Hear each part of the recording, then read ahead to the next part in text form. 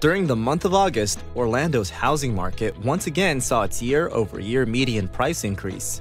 Meanwhile, both the number of home sales and the inventory of homes available for purchase experienced declines compared to the same time last year. The annual median price of a home in Orlando in August was $231,000, which is a 3% jump compared to August 2017. A total of 3,374 homes sold during the month, which is a decrease of about 6% compared to last year. Would-be buyers continue to be challenged by the limited number of homes available for sale in Orlando. Compared to August 2017, the number of homes on the market has dropped by 12%, with only 7,808 homes currently available for sale. Whether you're looking to buy, sell, or rent, contact a realtor today so you can get moving.